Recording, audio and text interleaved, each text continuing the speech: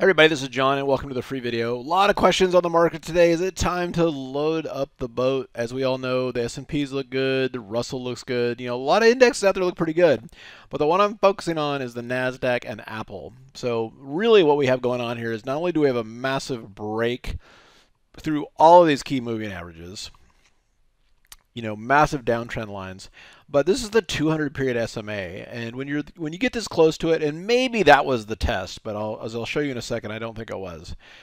Um, it becomes a little bit of a self-fulfilling prophecy to kind of test that and flush, you know, flush any stop losses out because there can be so much liquidity down here in the form of stop losses. For me, Apple would be back into an uptrend on two closes back up above this trend line. That just kind of shows a shift. So if you're buying the dip here, you know, the challenge is, okay, if you happen to buy the lows yesterday, you had a good day today. But if you've been buying the lows this whole time, you know, and you're buying options that expire this week, you are hoping and praying, um, you know, for a reprieve, right? And of course, there's other stocks here like GameStop is back in play we had a nice trade on that, you know, from Friday to Monday, and then um, now I'm just watching it. You know, we may do something more with it again. You know, again, you're just looking for setups, right? We had an awesome setup here, and now it's just kind of off and running.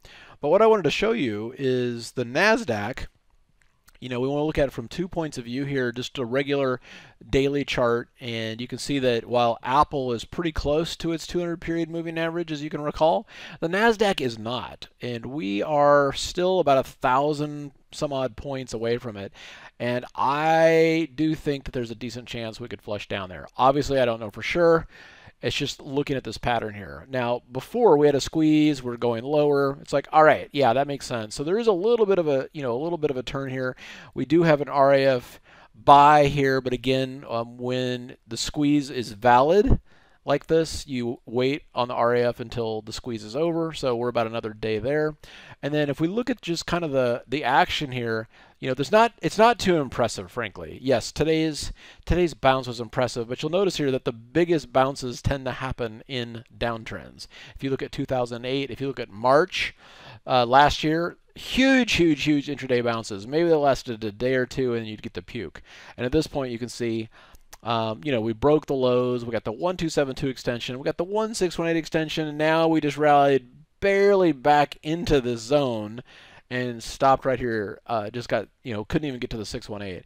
Now, granted, I know we're down 48 points today. Hey, that's, you know, after the huge day the NASDAQ had today, not a big deal. Um, but at this point, I'm looking for this to roll over. So just be careful on the long side. I think if we could get one more flush, into that 200 period moving average. That'll be a nice, amazing buy zone and go from there. Now, this thing just may go up and it's not going to listen to me at all, but I just want to, you know, just kind of show you at least what I'm looking for and where I'd be confident kind of backing up the truck, so to speak. All right, hope it helps. You guys have a fantastic evening, and we'll see you at the next update. Without simpler trading, I could not have financial independence. This is one of the best investments I ever made in my life. It's helping me find consistency. It's one of the things that won me